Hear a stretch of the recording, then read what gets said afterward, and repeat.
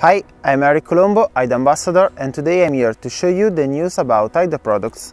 Here we can see how to mount the aluminum holder of the 100 Pro series for the 100mm plates, like the new Red Diamond series. The new GND with a waterproof layer that helps cleaning with a microfiber cloth. Like you see, the results it's amazing. It's also scratch resistant and anti-breaking from different types. Have you seen? It's perfect. Why use GND filter?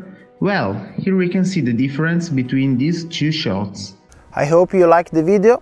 For more information, contact me on my Instagram account, Erik Colombo Photographer, or Haida Instagram account, uh, Haida Filters, or on my website, uh, erikcolombo.com, or Haida website, uh, aidasphoto.com.